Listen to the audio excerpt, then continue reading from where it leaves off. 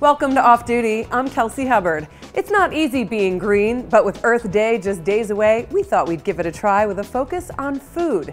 I caught up with Chef Gina Keatley for some healthy recipes and to learn more about the local food movement. The reason why you'd want to make your own dressing is because you know what's in it, right? We have a little bit of yogurt. We have one teaspoon of honey. We have a little bit of salt, a little bit of pepper, little bit of olive oil, and of course blue cheese. This is how easy it is to make blue cheese dressing. So we have like some butter leaves here. Whatever you have, whatever you have available to you, seasonally use. I like the butter. I also love radicchio. I love this. It's very yummy.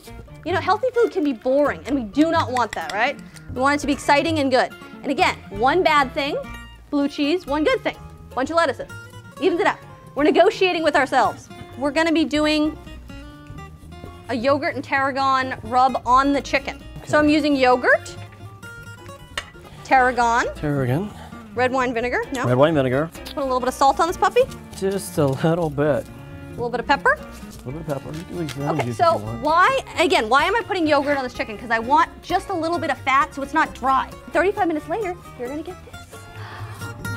Oh, It's almost Earth Day. We're talking a lot about sustainability, so we want to know what that means in terms of food. Thank you so much for joining us. I know you talk a lot about this in your uh, job at Nourishing NYC and feeding people in need. Um, when people hear the word sustainability, uh, what does that mean in terms of the food that they're eating? Well, you know, I don't think people recognize, you know, where their food comes from. And a lot of times there is a carbon footprint to your meal. And so if you're buying things that are local and seasonal, you're really making a difference every day with every meal you have to the earth. So people want to buy local, the local food movement, tell, tell us a little bit about what that is and, and how people can go about and incorporate that in their daily lives because a lot of people are just used to running to the corner supermarket. Well, I think the first thing is to recognize what is in season.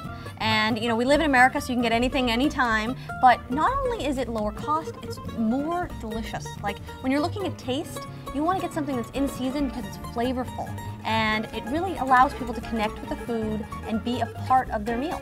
And can you get that at the supermarket or should they look for farmers markets and organic food? It's up to people. I mean, I, I don't try to push people on, on doing 100 miles, 200 miles. It's more about just understanding and being aware. Uh, we always encourage people to have maybe mini gardens in their homes. Who has basil? Who's of our basil people here? Come See, on. you could be making fresh basil in your kitchen and I know as founder of Nourishing NYC, you've uh, campaigned against processed foods, you, you feed local families. And what is it about processed foods that we should know and that we should avoid? Well, you know, you have to be aware that the products you're getting are not um, they're not saying how many things are necessarily in the boxes. So you might not realize how high the sodium is or the sugar. So just be conscious of what you're buying, what you're purchasing, and that you might think you're saving money and time by having a, uh, a microwavable meal, but at the end of the day, learning how to cook, learning how to um, connect with your food is really that is that's worth the extra few minutes. All right, Chef Gina Keatley, thank you so much. Thank you. We can never get enough of food here at Off Duty, so once again, we turn to Gail Monaghan. In this week's Cooking Confidential, she shows us how to prepare garlic oil. I don't find you need a really fancy gourmet boutique olive oil for most things.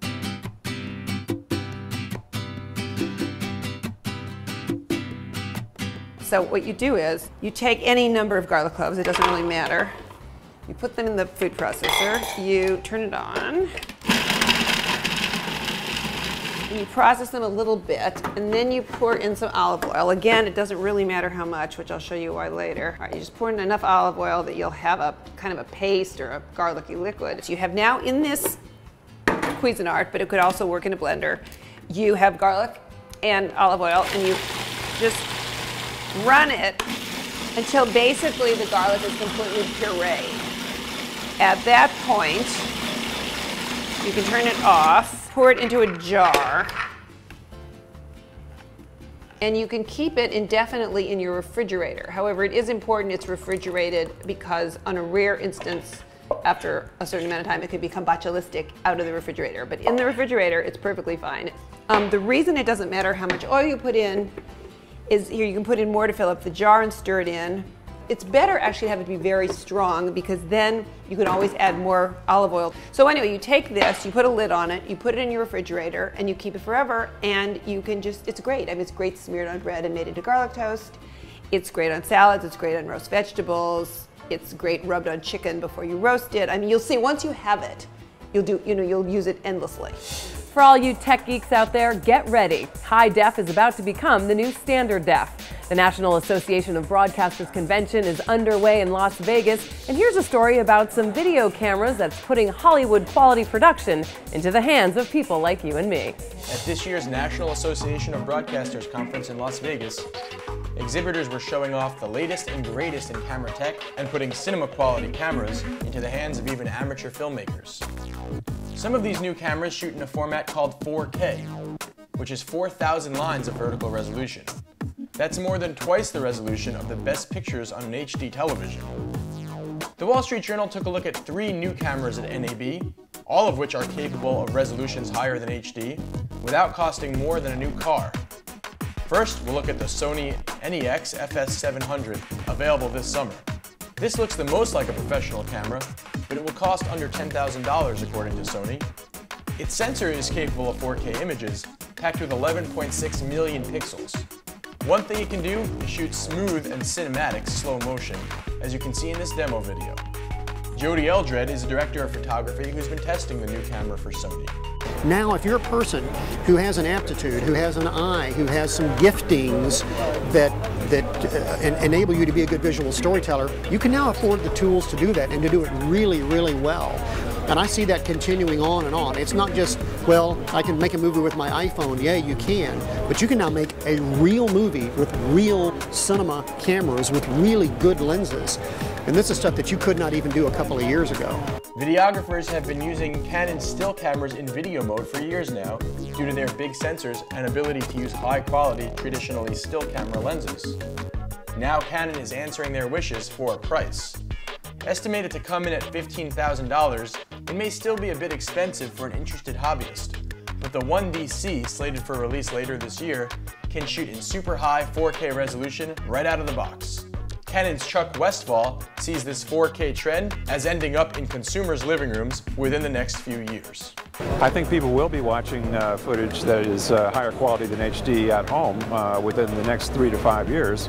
Um, earlier this year, in January, at the Consumer Electronics Show, about a half a dozen of the leading companies uh, who are manufacturing televisions were showing their prototypes of uh, what they call Quad HD, which is 3840 by 2160 resolution.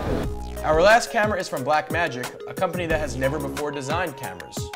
In some ways, this Blackmagic cinema camera, due out this summer, is the star of the show not because of its resolution, but because of its price.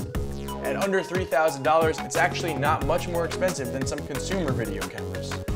But with nearly 2,500 lines of vertical resolution, it captures greater than HD quality images and can accept Canon's DSLR lenses.